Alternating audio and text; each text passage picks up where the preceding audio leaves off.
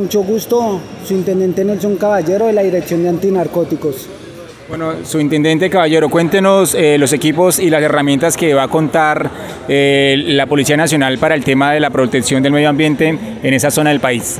En este momento estamos utilizando los helicópteros que fueron donados para la protección del medio ambiente.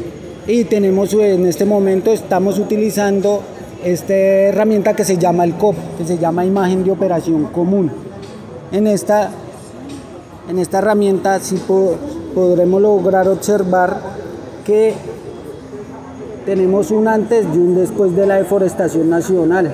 Entonces esto es la mesa La Lindosa. Este es el antes y aquí tenemos el después. Los diagnósticos que ustedes hacen es en tiempo real.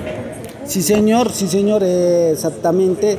Eso se realiza en tiempo real, tiene una actualización de cada mes de imágenes satelitales y esta herramienta funciona por medio de la red policial, solamente por red policial se utiliza esta, esta información.